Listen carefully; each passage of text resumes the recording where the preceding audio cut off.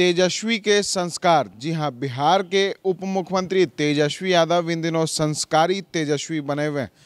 ये तमाम तस्वीर है जो कल उनके जन्मदिन पर आपके सामने हमने रखी थी कि किस तरीके से उन्होंने आधी रात को बर्थडे मनाते वक्त, यानी कि अपना तैतीसवां जन्मदिन मनाते वक्त उन्होंने पहले अपनी माँ के पैर छुए, उसके बाद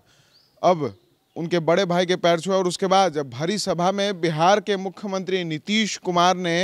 उन, उनको गले लगाया और उसके बाद सभी से यह आग्रह किया कि सभी खड़े होकर तेजस्वी यादव को बधाई दे, तालियाँ बजाओ और इस दौरान उप मुख्यमंत्री तेजस्वी यादव ने अपने चाचा और बिहार के मुख्यमंत्री नीतीश कुमार के भी पैर छुए। ये तस्वीर है जो कल भी हमने आपको दिखाई थी और आज एक बार फिर दिखा रहे हैं कि किस तरीके से तेजस्वी यादव इन दिनों संस्कारी तेजस्वी यादव बने हुए हैं। संस्कारी तेजस्वी बने हुए हैं। आपको बता दें कि लगातार लालू प्रसाद यादव के संस्कारों की चर्चा होती थी। लालू प्रसाद यादव जिस तरीके से अपने संस्कारों को नहीं भूलते थे तो ये प्रथा उनके आने वाले जो जनरेशन है, उसमें भी लगातार चली आ रही है। और लालू प्रसाद यादव के छोटे सुपुत्र और बिहार के उप मुख्यमंत्री तेजस्वी, प्रसाद यादव भी इन दिनों संस्कारी तेजस्वी बने हुए हैं और जैसे ही बिहार के मुख्यमंत्री नीतीश कुमार ने उनको ज़ोरदार तरीके से गले लगाया, खूब सारी जन्मदिन की बधाइयाँ दी। एक बड़ा तोहफा दिया नीतीश कुमार ने कि उनके जन्मदिन पर नियुक्ति पत्र बांटने का कार्यक्रम जो है वो रखा गया और ये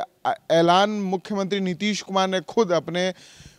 भाषण में मंच से किया था और उसके बाद जब नीतीश कुमार तेजस्वी यादव को गले लगाते हैं तो नीतीश कुमार काफ़ी गदगद दिखाई देते हैं। वहीं तेजस्वी यादव ने इस दौरान नीतीश कुमार का दिल जीत लिया। तेजस्वी यादव ने इस दौरान अपना संस्कार दिखाया और एक बार अपने चाचा नीतीश कुमार के चरण स्पर्श किया और उनसे आशीर्वाद लिया और इस दौरान नीतीश कुमार काफ़ी गदगद हो गए, थोड़े से भावुक भी हो गए तो कहीं ना कहीं तेजस्वी के संस्कार हैं, जो तेजस्वी प्रसाद यादव को लगातार नीतीश कुमार की नज़रों में बेहतर बनाए हुए हैं और यही तमाम कारण हैं, जिस वजह से नीतीश कुमार तेजस्वी के फ़ैन हो चुके हैं। और लगातार ये बात करते रहते हैं कि अब हमें कुछ नहीं चाहिए। अब आगे बढ़ाना है तो तेजस्वी प्रसाद यादव को कहीं ना कहीं लालू प्रसाद यादव और नीतीश कुमार का प्रेम भी इसका एक कारण है, क्योंकि लालू प्रसाद यादव को नीतीश कुमार बड़ा भाई मानते हैं और जैसे ही वो महागठबंधन में शामिल हुए थे, उसके बाद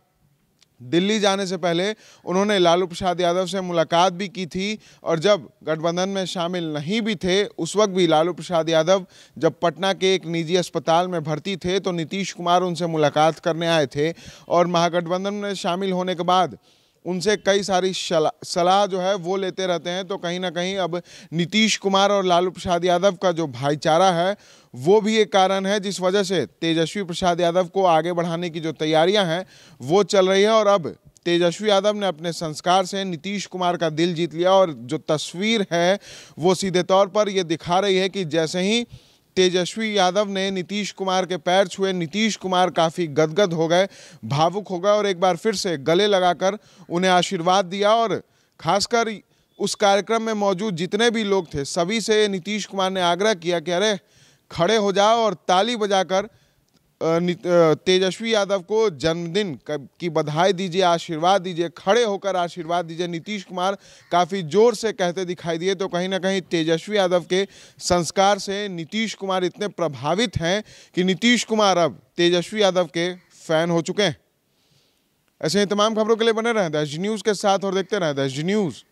आशीर्वाद इजी कॉन ग्रुप, भरोसे का दूसरा नाम। हम सिर्फ़ घर नहीं, खुशियाँ भी बनाते हैं। आशीर्वाद रोज वैली, जिसमें है premium flats with all modern amenities Patna में लेना चाहते हैं अपने सपनों का आशियाना तो कीजिए हमारे इन नंबरों पर संपर्क।